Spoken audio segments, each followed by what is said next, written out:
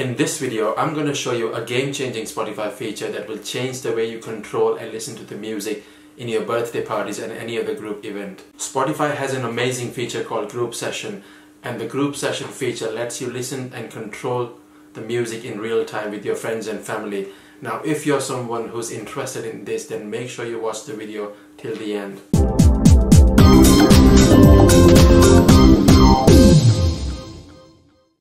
Before you start using the group session, you need to know these three key points. First one, group session is only available for mobile and tablet applications. Uh, second, uh, it's only available for premium users. And third, you can only add up to five users per session.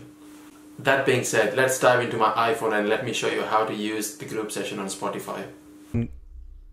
Now, in order to use group session on your phone, simply open Spotify and play any song now you can see that, that the song is minimized now. Simply click on uh, the minimized window.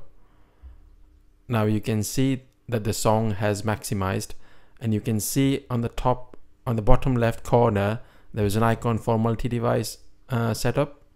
Simply click on the multi-device icon and you will see there is an option to start a group remote session. Simply click on start a remote group session and it will give you an option to invite your friends. Click on invite friends and you can see that there are so many different options that you can use to invite your friends. Once you've invited your friends uh, and they've joined the session you can see the list of your friends here.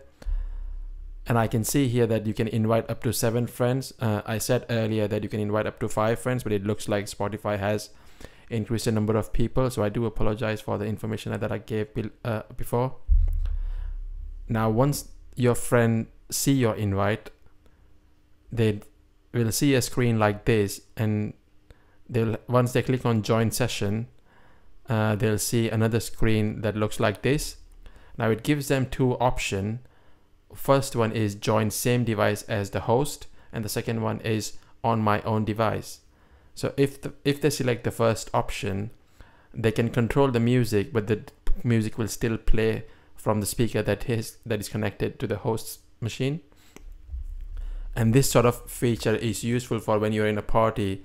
You, you want to listen to the music from the same speaker but still uh, able to change the music. And if you use the second option on my device then when you change the music you can listen to your listen to your music on your own device. And whoever has joined the session they can listen to the music all on all their devices at the same time this sort of feature is useful when you're all at a remote location but you still want to listen to the same playlist. How amazing is that? That's all I got for you in today's video. If you love the video, make sure you share the video and subscribe the channel for more amazing videos like this. I appreciate you and I hope you have an amazing day.